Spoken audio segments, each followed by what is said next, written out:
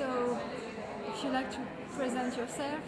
Hello, I'm Cristian Mungiu, the director of Four Months, Three Weeks and Two Days. And I'm Anamaria Marinca, and I'm playing uh, Otilia in Four Months, Three Weeks and Two Days.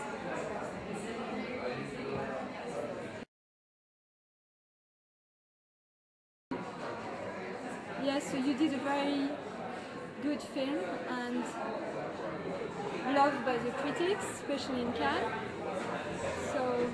So if you can talk how it started, where did you find the idea? And Well, uh, it started from a true story that I knew, and I was trying to make uh, a film which is set 20 years ago, but which would be would have a meaning for everybody seeing it still today. And I hope we succeed in doing this because there's something I think universal in this film that everybody can relate to.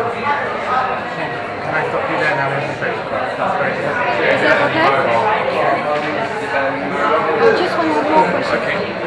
Uh, how does it feel about winning in Cannes and what does it change for you?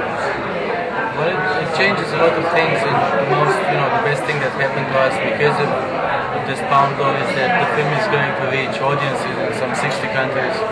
And this is something that would have never happened without this, this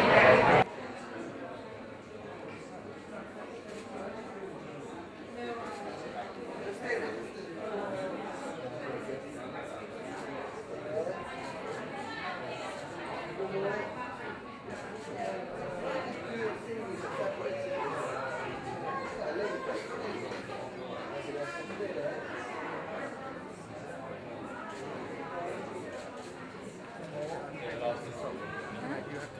You